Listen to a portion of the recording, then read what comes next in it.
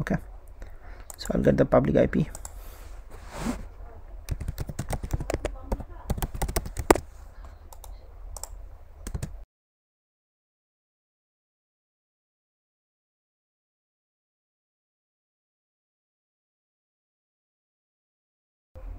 what's happening let me check what's there. Okay my okay there is some problem with the security groups. I have not chosen the right one. Okay there's a problem it's having some problem. I have to choose uh, 80 SSH and I'll also choose 1521 okay. And go to the root okay. Step one I'm reading my Linux server. First I'll add the group add DBA though it's not needed that much. But if you want to separate this uh, um, groups for uh, software and the data you can do that. I'm adding a user. And um, I'll be creating a swap. I'm not creating additional disks for swap. What is the space I am having? And I'm just uh, putting a swap maybe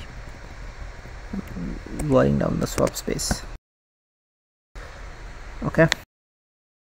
Give permission to my swap make swap and swap on. I'll now make an entry to the etc fstab and make entry for the swap. My swap is root swap file swap defaults 00 zero. okay I'll check. Okay looks good. Now uh, before going to the next steps just um, I'll be doing something. I'll be creating another one window. I'll, I'll tell you why. The purpose is that you know I just want to copy my Oracle software. It will take some time so just reduce the time. I'm going to do that. Let me create a folder here here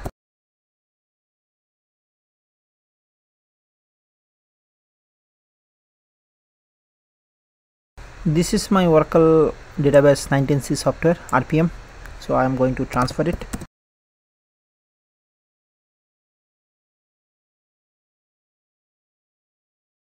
So this will take some time. This is something 2.5 gigs. Depends upon the what are the upload speed I'll get. Transfer speed. I'll say it's not upload transfer speed I'll get. Okay. So let it be continued and let it perform my tasks the next previ previous window. Okay. So I'll install the this is a prereqs um, pre-installed RPM so I can uh, for Red Hat 8 or CentOS 8 I can directly uh, install using the DNF command from the Oracle uh, repository.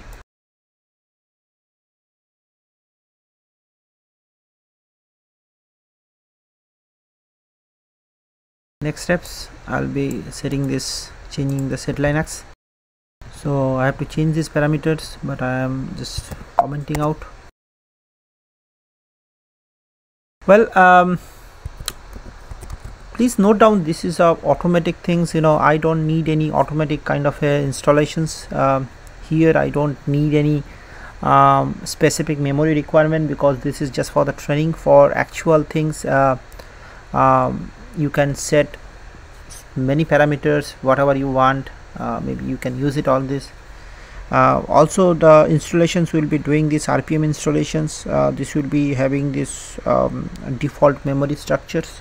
So definitely it's not going to work for actual installations. Okay for changing these things i have to uh, either reboot the server or run the command okay and uh, I'll be going to install the two more parameters. One is perl libwww perl. This is required for xterm uh, this is for setting this uh, get command. And uh, thereafter also I'm going to install the xterm because for my x window. Yum install xterm okay. Now let me reset reset my oracle password. Put a new password. Okay. Then I sue oracle.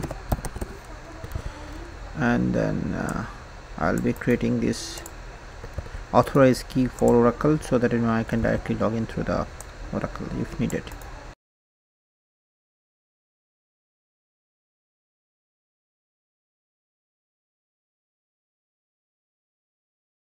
so I'll be taking this metadata open SSH key and then putting it the authorized key so that I can directly connect. Okay. And uh, thereafter uh, I can directly uh, SSH to the Oracle. Uh, my copy is now finished so I'll complete this the installation steps. Okay I'll go to the files. And now unzip so it's unzipped now i'm going to install it. So as i said before this is auto install. This is uh, good for the testing purposes because all the memories and all this thing is set and all this semaphore and um, you know shared memories are auto sets. So this is not good for actual productions uh, or actual usage. So you should uh, choose for the manual kind of a setup if you are uh, choosing for your actual workload. Okay okay it has to be done through the root. This will take a few minutes I believe.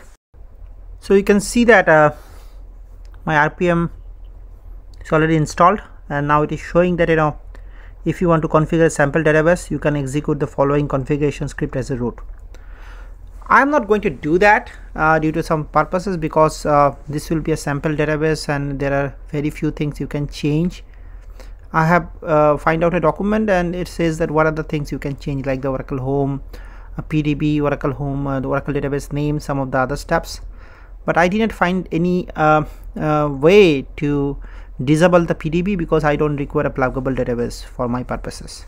So I just show you the doc uh, document what this document says. You can go through the document.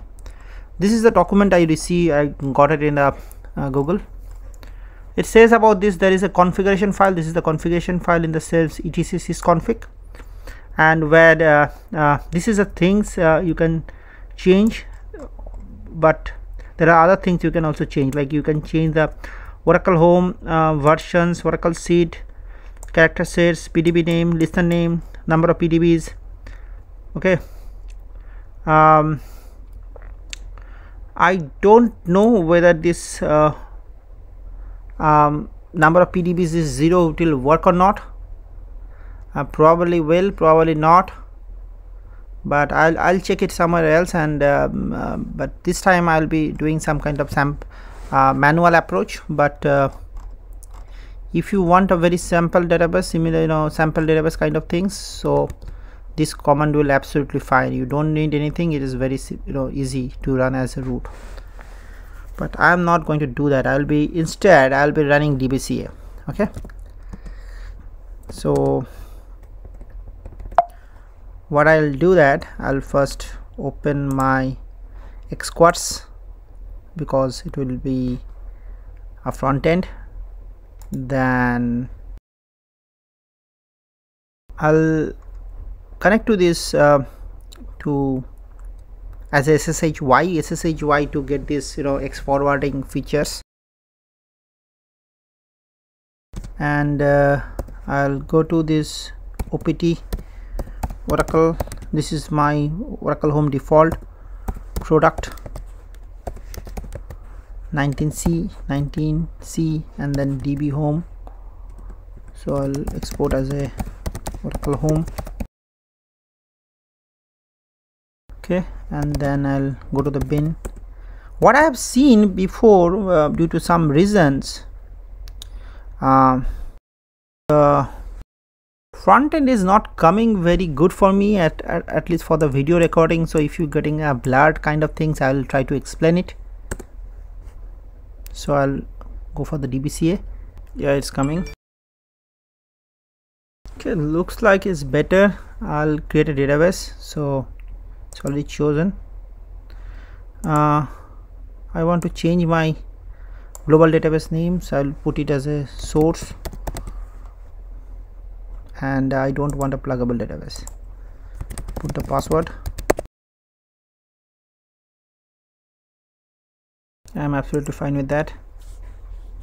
So what I have changed I have changed the database names. I have not changed any data file locations uh, fast recovery areas character sets anything um, and I have uh, disabled this uh, pluggable because I don't need a pluggable. You can see this is a, a kind of a automatic settings. So if you want something else you can do it yourself. But you know I'm good with the whatever the auto settings come so I'll finish. So this is gonna take some time uh, maybe a few minutes. So I'll come back once it's done. Uh, I'm back. It took a while to DBCA to complete. It's, you can see now it's now completed. Um, so I'll close the session this was things when I ran my DBCA now the next steps what I'm gonna do um, I will uh, set Oracle SID as a source and uh, sorry.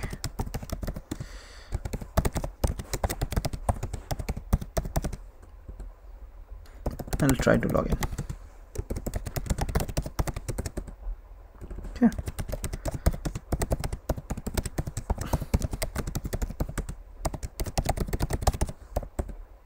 Yeah I'll set now the next steps. I will set the listeners and TNS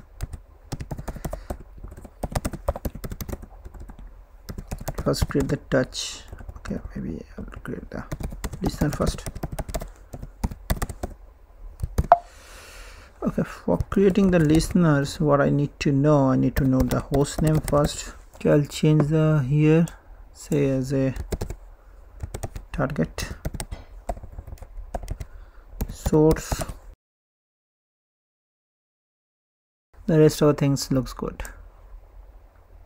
So this will be the my listener. Similarly I'll do for TNS I'll change the service name and the instance name both are same. Okay. Bin